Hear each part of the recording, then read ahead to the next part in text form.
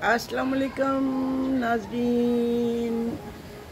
कहिए, क्या हाल है? आज ईद का दूसरा दिन है और जनाब, इतना खूबसूरत मौसम है, इतना हसीन मौसम है। ईद भी हमारी बहुत अच्छी गुजरी, इतना खूबसूरत मौसम था कि बहुत ही अच्छा लगा। आज सुबह सुबह मैं बाहर निकली हूँ, लॉन में ये देखने के लिए। कि खिड़की में से मुझे जो इतने हसीन पौधे और पत्ते नज़र आ रहे थे झूमते हुए, मैंने सोचा मैं बाहर निकल के उनको इन्जॉय करूँ और आपको भी साथ में इन्जॉय करवाऊं कि देखें कितना हसीन मौसम है। पिंडी इस्लामाबाद का मौसम, इसका तो कोई जवाब ही नहीं। ओ हो हो हो हल्की हल्की बारिश हो रही है और जनाब ऐसे मौसम में मेरा दिल चाहता है कि बाहर नेचर के जितना करीब हो सके, इंसान नेचर के करीब रहे।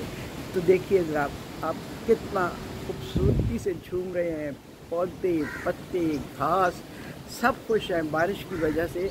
आज टरू भी हमारा बहुत खूबसूरत गुजरेगा इन आज फ्रेंड्स आएँगे, कल रिश्तेदारों का दिन था ईद पे, और आज हमारा फ्रेंड्स का डे है। हम मिलके इंजॉय करेंगे। ठीक? अल्लाह हाफिज़।